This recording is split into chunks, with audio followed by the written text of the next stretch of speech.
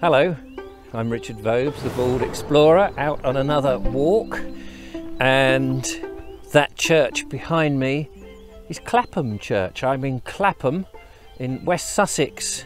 And to help me on my walk today, as I go into the deepest, darkest Clapham woods, is the lovely Cynthia Julian. Hello, morning, Cynthia. Richard, Morning. Good morning.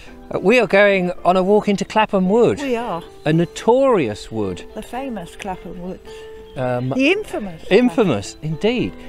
Infamous because of the so called devil worshipping in the 1960s and 70s and mysterious dogs that used to disappear. All sorts of things have happened up here, yeah.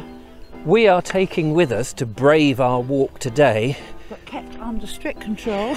the one and only Echo.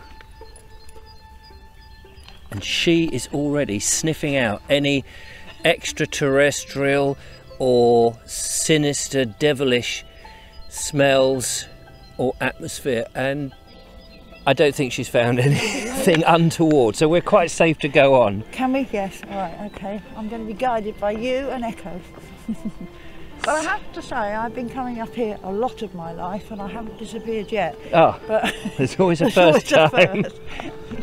Which is rather good. It's a picturesque spot, isn't it?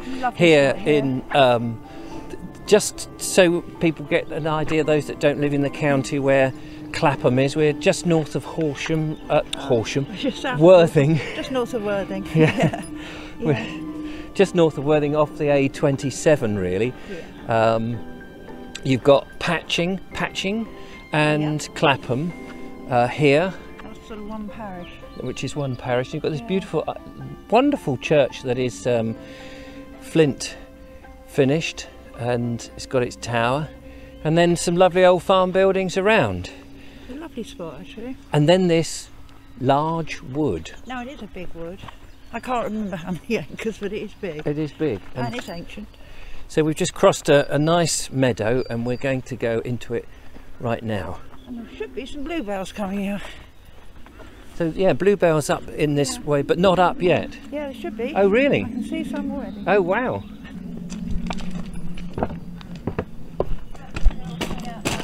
Oh, fantastic! Here we go. The first of the bluebells. How amazing! They, they're very purpley, aren't they?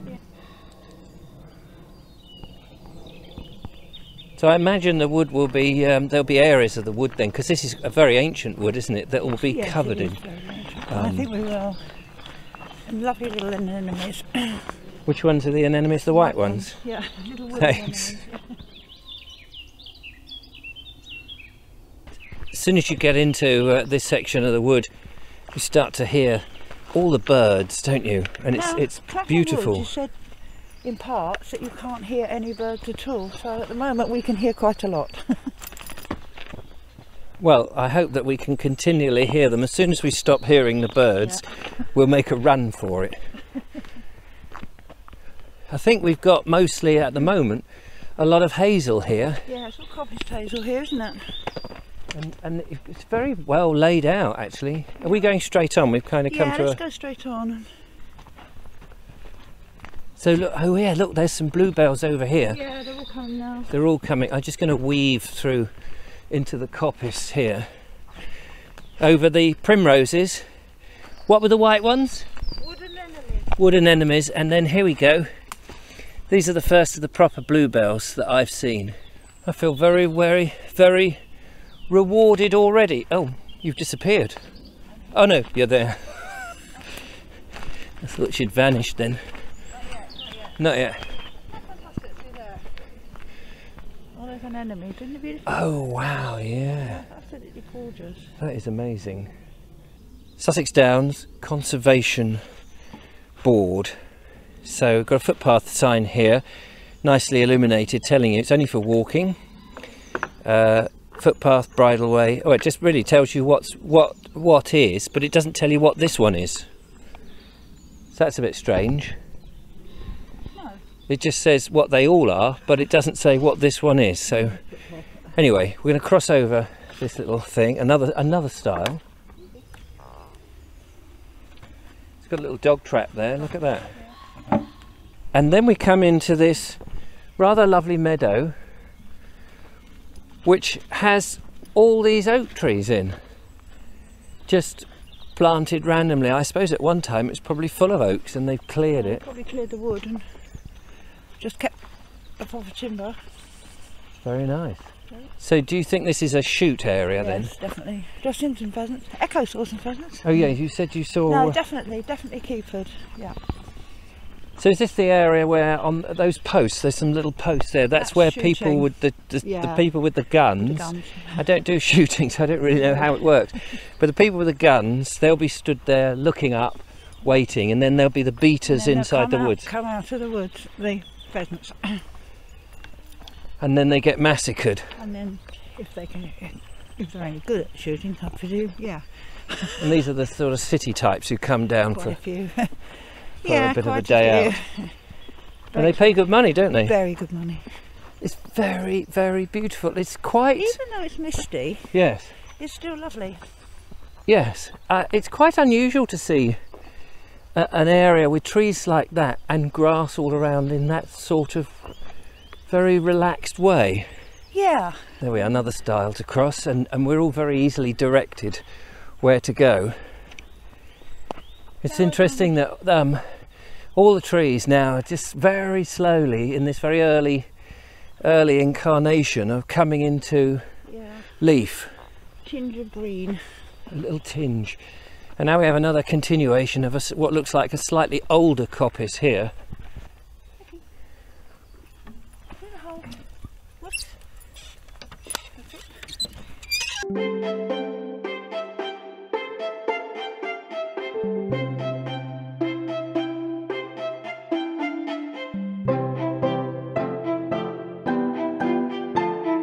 Cynthia, Richard. I remember when I was being um, taken here to the wood about 15 years ago Yeah. by a chap called Charles Walker, Uh-huh. who wrote a book about the devil worship and the weird, sinister things that went on here in Clapham Wood, being taken to a tree that was supposed to have some weird significance. Yeah, this is it. The And beech- this, The beech tree. the beech tree. And here it It is. is a big, big tree. Have a look at this, ladies and gentlemen. The big old wieldy beech tree, which in a darkened wood on a moonlit night, with perhaps some mist coming through, you could perhaps be easily mistaken and think there's something demonic about it. But actually, it's just a very, very beautiful, venerable old tree with many arms, which beech trees do have. But there is some curious carving here in the in the bark. None of it's sinister though. No, none of it. Do you feel anything, um, any weird atmospheres or anything like that, Cynthia? No. Pardon? No, I don't feel anything at all. It's a nice tree. It's a nice tree. Um, I rather like it. And looked up tree. And it, it's like the father or mother of the forest, isn't it? It is actually. Yeah, I wonder if there are more of them and they've gone over the years. I know they lost a lot in the 87 storm. Right, because they Um, they have that actually for the the size they have through sh- here. shallow um, root yes, system. well, this is the trouble with trees isn't it? Yeah, look at the, I mean, you look at these roots, and they are quite, they are quite, uh, you know, spread out, like an octopus gripping onto the ground. There's a lot of weight going down to hold that up.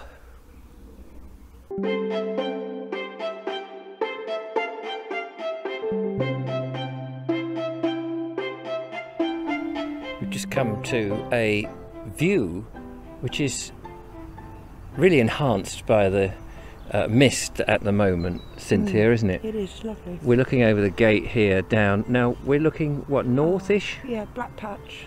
We've got Black Patch, Harrow Hill, Yeah. presumably, Yeah. yeah. and then Long Furlong, which is immediately in front of us. And if we were to go kalumphing down this Down hill, we'd end up on the road near the toll house, presumably. I think we're pretty much opposite it. Yeah. Yeah, you Yeah. can't see it, luckily, and so the sound has virtually disappeared of the road, that is.